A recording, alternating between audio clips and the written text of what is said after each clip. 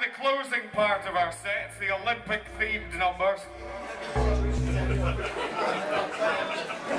What's. no, no, not the pint event, it's after. Is I think they've started the fucking drinking event already, haven't they?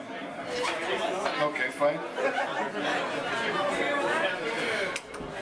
Here's a little romantic. It's Valentine's Day on Tuesday.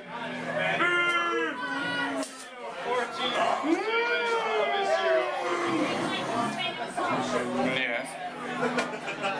The romantic little tune for you, it's called Square Turkey.